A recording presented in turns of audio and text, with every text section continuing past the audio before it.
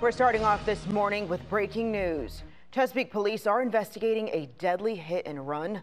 Thank you for joining us this morning. I'm Kiana Patterson. It happened overnight around 1230 on Canal Drive near Gilmerton Road.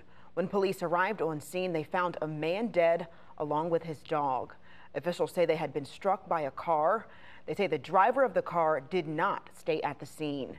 If you have any information on this deadly hit and run, please call the crime line.